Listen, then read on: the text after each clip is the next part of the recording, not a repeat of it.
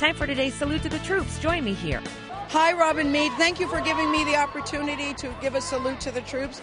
I have a nephew that just recently joined the military, so for me, for the first time, it's more than just a big news story. It has a very personal mission.